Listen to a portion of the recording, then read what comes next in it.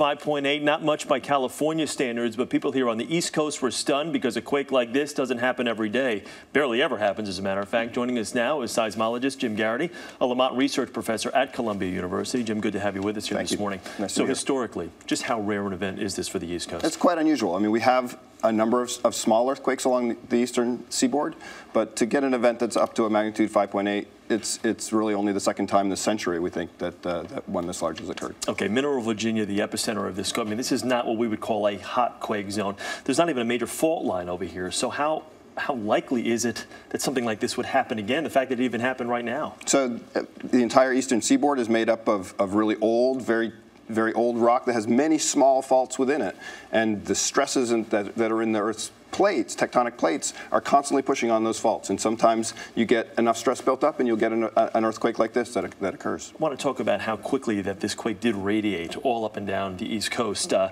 oh, there were people here in New York yesterday that were all of a sudden receiving tweets, oh, people in Washington Yeah, just got an earthquake, and then seconds later the ground starts shaking below their feet. How quickly did this move? So it, it- the the epicenter happens, the, the earthquake happens, and it spreads out at a, at a rate that we know. It's about two and a half miles per second.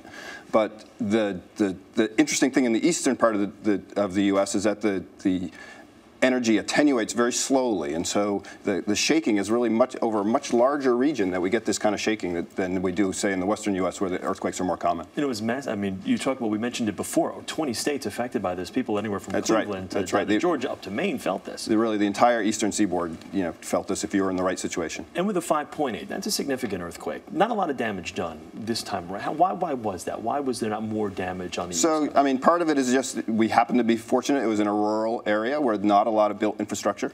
But at the same time, it, we do have good building codes in the U.S. overall, and, and the eastern U.S. certainly doesn't isn't a, as aware of the earthquake danger. But it's something we, we do need to keep keep an eye on and, and continue to build to build buildings that can withstand this kind of damage. Where does this stack up historically with other earthquakes, especially ones that, uh, that we've seen uh, over the last couple of years, last few months here? So I mean, the, the, we have to keep in mind that, that the really large, damaging mega earthquakes, like like for example Japan, they're much more unusual, and it's, and and and this this kind of event happens many times uh, Uh, a year, someplace in the world. Yeah. You know, thousands of, of events of, of a magnitude five, and so and so it's really just how how close it is to places that we that we're worried about that we notice it. And as far as aftershocks, I mean, we saw the people in Mineral already suffered a, a minor aftershock That's after right. yesterday's. What can, what can we expect? Generally, these the, the aftershocks will be smaller than the, the main shock, and they'll they'll over time they'll become less frequent, and they'll become more smaller and smaller. And so every day, the risk of a large aftershock goes down. Okay. Press Jim Gaherty, thanks. Good to see you.